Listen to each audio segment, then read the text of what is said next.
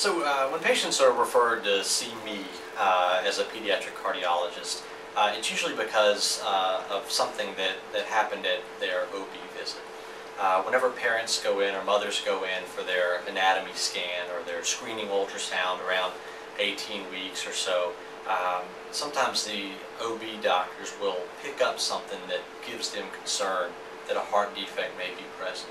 Also, sometimes they'll recognize risk factors that may make it more likely that has a heart defect.